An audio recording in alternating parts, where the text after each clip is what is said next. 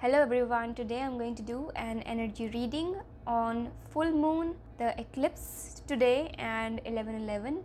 The eclipse has already passed, but the effect of the energies is still there, so it might still be true for you. Since this is a general reading, take what resonates and leave what doesn't. So let's begin. First of all, yes, there is a lot of energy coming towards us from nature right now, which is always true, but at this point of time, because of the full moon, the eclipse, and the change of seasons from autumn to winter, a lot of changes are happening in our bodies as well as our mind. And of course, the way you feel, your emotions will not be paired because of all of these changes.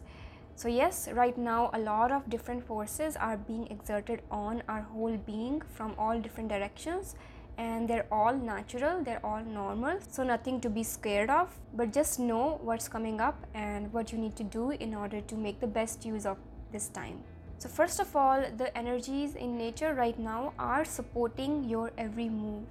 They are supporting your projects, your work, your personal life, and your job is to also do the same. So, your job is to also support yourself by taking care of yourself by spending time with yourself. Spend time in meditation, in doing things that you love to do, and spending time with your family and friends. Honor your needs, whatever they may be. So, you might feel a lot of emotions coming up.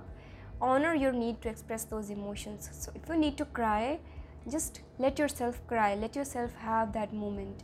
Release a lot of anxiety and anticipation is coming up right now and i have been greatly feeling it since the last 2 or 3 days and i was wondering what's happening that's when i checked the phases of the moon and i came to know that it was full moon occurring today so even before you know your body already feels the effects of those energies. Be tender towards yourself. Now this is a time when the season is changing from autumn to winter and our bodies are actually preparing to go into hibernation mode. But in today's world we don't do that. We don't hibernate right? We still have to work. We still have to wake up on time and do all our chores. And that can be taxing. So whatever your needs are once again honor them be tender towards yourself don't beat yourself up for not cleaning the house one week. Don't beat yourself up for not completing something that you wanted to complete. For those of you who are in the careers that are related to nature, such as geology, physics, fuel, astronomy, electronics. Now you must be thinking, how is electronics related to nature? But electricity is nature, right? So, electronics, any of the earth sciences, health sciences, animals, nature, all of those people are going to see positive forward push in their career. So, at this time, know that the forces of nature are not just around you, they're also moving through you. So, open yourself up to them, don't resist them. Allow whatever is happening in your body and mind to happen. Release that energy instead of resisting it and holding it back. This time is also very good for wealth accumulation, spending time with family, taking the next step in your achievements, or if you are delaying grabbing your achievements, you can go do that right now. Overall, this is a very nice time for general satisfaction in your life, provided you honor your needs and take care of yourself. Thirdly, this is a very good time for you to realize the energies of the divine feminine. So if there are any parts of yourself that you have lost, let's say that you used to love drawing as a child and now you don't do that at all.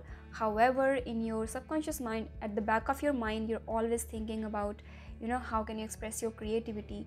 and that means that you have lost a part of yourself right so you can reclaim that at this time it will be very joyous and very good for your energies to do that at this time in general people are going to experience more relationship healing and harmony at this time however if you are not experiencing that then what steps can you take in order to bring that harmony and healing in your relationships so now is the right time to take those steps Anybody who is trying to heal relationships, it is a good time to devote yourself to inner exploration and prayers.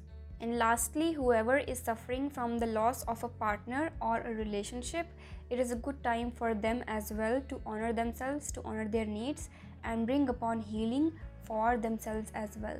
So, that is all for today's energy update. This is for the full moon, eclipse, and 11 11 2022. Let me know if this resonated or not in the comments below. If you want to see more of these videos, please like, share, and subscribe. I will see you next time. Have a wonderful rest of your day.